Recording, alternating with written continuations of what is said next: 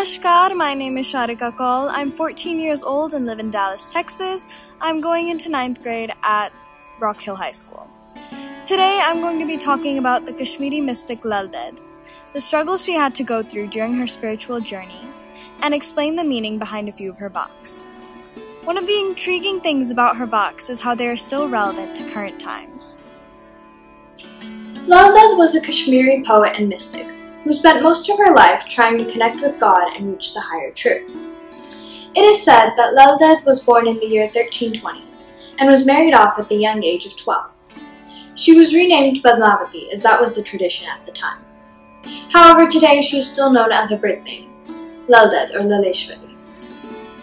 Lal Ded suffered many challenges in her early life, as she found traditional ways of praying in the mandir and social norms such as that to be useless or irrelevant. Being born a woman during that time period would also have added difficulties to Lal Ded's spiritual journey, as women during that time were not treated like men and were expected to only handle the household chores. Lal Ded was treated harshly by her new family. Her mother-in-law, while serving Lal Ded food, would cover a stone with a thin layer of rice to make it seem like she gave a lot of food to her, when really she was starving Lal Ded. Because of these harsh treatments, Lal left her family at the age of 24 and sought to find a guru to teach her Kashmiri Shaivism and started her spiritual journey. From there, she would record her journey through her verse called Lalvaks. Before looking at Lal Ded's Vaks, let us first see what a Lalvak is.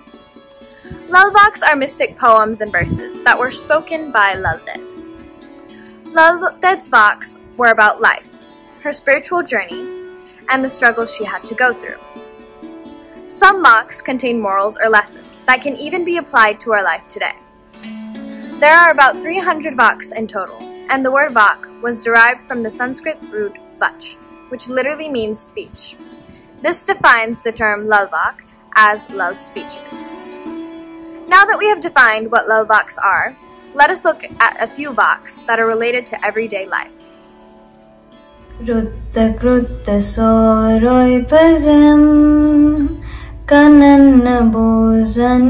Achannabam Oruktapun Yalivandavuzi Ratandip Prasuyam Varzinyavam This vak gives you advice about how you should not get overly happy by good times and extremely sad by bad times.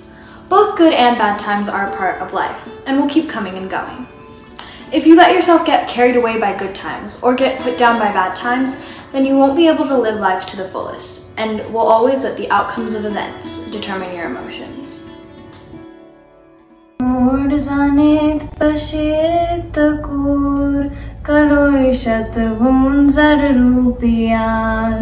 You see the P, the bows,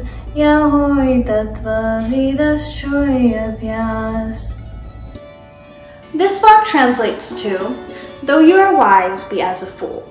Though you can see, be as one blind. Though you can hear, be as one deaf. Patiently bear with all you meet and politely talk to everyone. This practice will lead you to the realization of the truth. This vak explains how you should always be patient with others and shouldn't try to outsmart them or prove that you are better than them. Although you may know more than others, it is best to be kind and humble rather than boasting and bragging about knowing more than everyone you meet. Sanam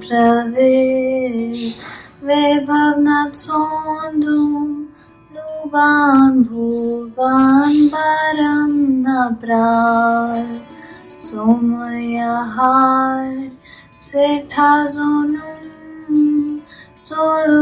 Vakava Polum The English translation is, In life I sought neither wealth nor power, nor ran after the pleasures of sense. Moderate in food and drink, I lived a controlled life, and loved my God. This vak explains how you should be content with what you have and should not run after power or pleasure. While eating and drinking, you should have it in limited portions and should not have greed for more. And lastly, always be thankful to God. This vok is very relevant to current times and is applicable to kids and adults, as it provides them direction about how to lead a content life. Amipan sodaras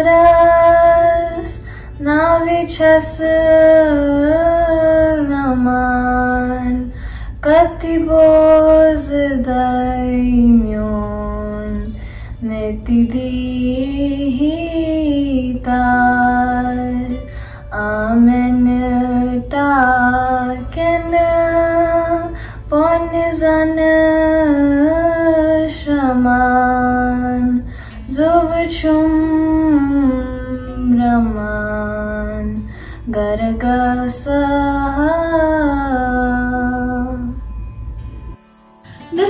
in English would be With a rope of loose spun thread, I am towing my boat upon the sea. Would that God heard my prayer and brought me safe across. Like water in cups of unbaked clay, I run to waste. Would God I were to reach my home. This vok explains that while doing tasks that seem impossible, you should turn to God and ask for help. Because even the tasks that seem unachievable can be achieved with God's help. Lal Ded gives an example of trying to pull a boat with a weak piece of thread. While the task seemed impossible, one can succeed with God's help. Now that we have looked at some voks that are relevant to your daily life, let us look at the voks that Lal Ded has spoken about her spiritual journey and what struggles one has to go through to gain moksha. Latan hundmas lairum matan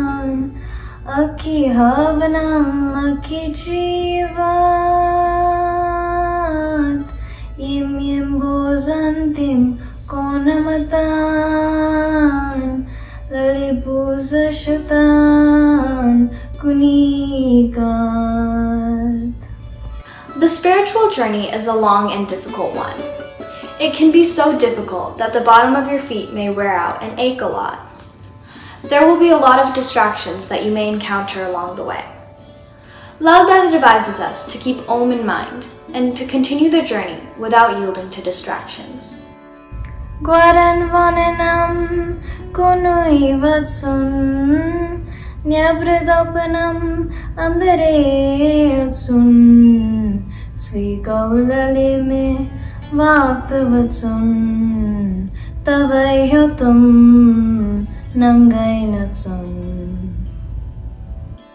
In one's spiritual journey, Guru is the most important aspect.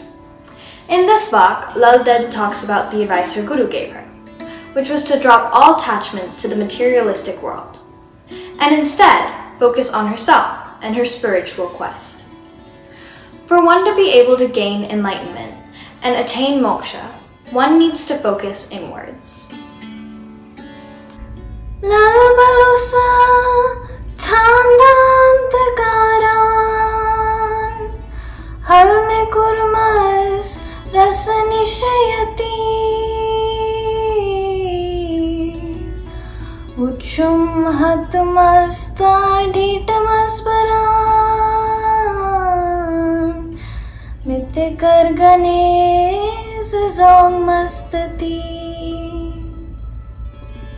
In this Lal Ded explains how she knew that people would insult her and would not consider her spiritual quest to be acceptable. However, Ded knew that the path that she was taking was the right one. So, she continued with her journey and erased others' doubts from her mind. Yus masakar karen manas karen naza Shiv panunyale anugre karen Lokherun hamale mekaren kya Lal Ded is conveying to us that even if people mock and taunt us, we should not get affected. In fact, we should not even hate people who do such things to us. She says that as long as God's grace is with you, nobody else's thoughts or opinions matter. Tan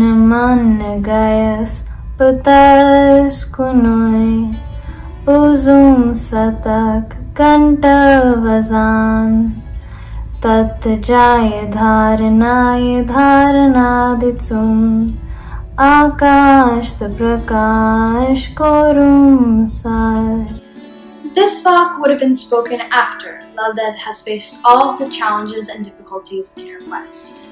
It explains how she was able to meditate and that she could hear the bells of truth ringing and experience the feeling of transcending space and light, or finally attaining moksha. After researching about Lal Ded, I was able to understand why she is held in such high regard as a Kashmiri mystic and poet.